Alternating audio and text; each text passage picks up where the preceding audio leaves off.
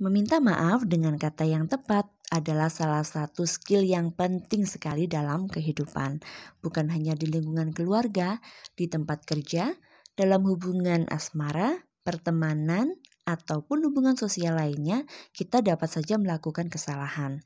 Nah, di video kali ini kita akan belajar mengenai beberapa cara untuk meminta maaf selain menggunakan kata sorry.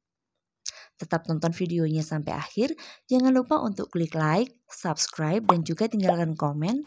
Ataupun bisa diklik tombol loncengnya agar tidak ketinggalan video yang berikutnya.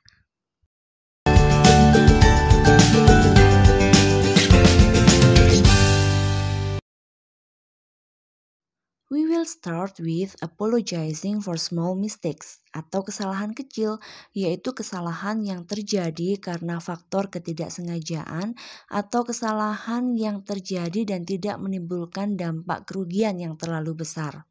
Kita dapat menggunakan Whoops, I'm sorry. My bad. Sorry about that. My fault, I'm sorry. I apologize. My apologize. Oh my gosh, I'm so sorry. Dan berikut adalah contoh penggunaan dalam kalimat. Oops, I'm sorry for stepping on your foot. Oops, maaf sudah nginjak kaki kamu. My bad, I spilled some juice on the floor. My bad, aku udah numpahin jus di lantai. I forgot to call you this morning. Sorry about that. Aku lupa untuk telepon kamu tadi pagi. Maaf soal itu. My fault. I'm sorry for giving you the wrong number. Kesalahanku. Maaf udah kasih kamu nomor yang salah. My apologize for what I said earlier. I'm so sorry. Permohonan maafku untuk apa yang barusan aku katakan. Aku benar-benar minta maaf. I apologize for my dog barking last night. Aku minta maaf karena anjingku menggonggong semalam.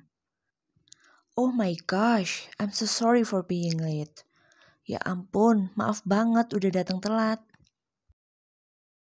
Sementara untuk kesalahan yang lebih serius, you can say, I'd like to apologize.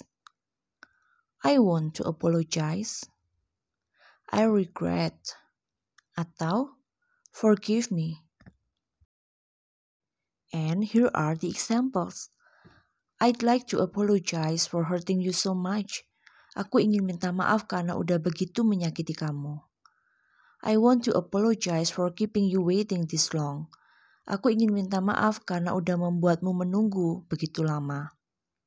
I regret cheating on you. Aku menyesal udah berselingkuh darimu. I beg you to forgive me. Aku memohon kamu maafin aku. Dan berikutnya adalah ungkapan yang diucapkan ketika kita melakukan sebuah kesalahan yang benar-benar serius atau fatal. Then you can say, I sincerely apologize. Atau, I take full responsibility.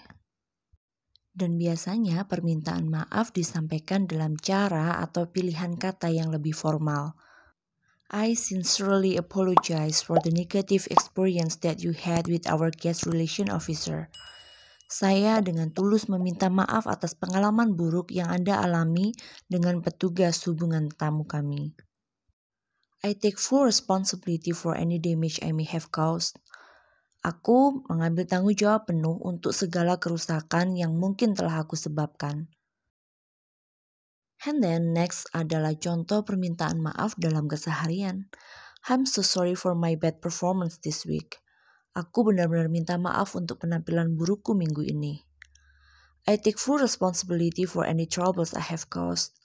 Aku mengambil tanggung jawab penuh untuk segala masalah yang aku sebabkan.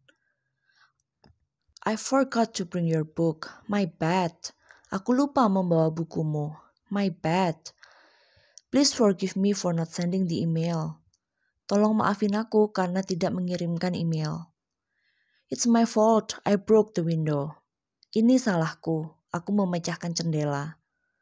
I sincerely apologize for the inconvenience during your stay. Saya dengan tulus meminta maaf untuk ketidaknyamanan selama kunjunganmu. I apologize for the bad food. Aku minta maaf untuk makanannya yang buruk. I regret deleting your old files. Aku menyesal menghapus file-file lamamu. Please forgive my son for dragging mud into your house. Tolong maafkan anakku karena membawa jejak lumpur ke dalam rumahmu. Itulah tadi beberapa contoh cara mengungkapkan permintaan maaf dalam bahasa Inggris. Semoga bermanfaat dan jika teman-teman suka, silahkan untuk klik like, subscribe, ataupun komen. Dan jangan lupa untuk share ataupun klik loncengnya agar tidak ketinggalan video aku yang berikutnya. Bye-bye.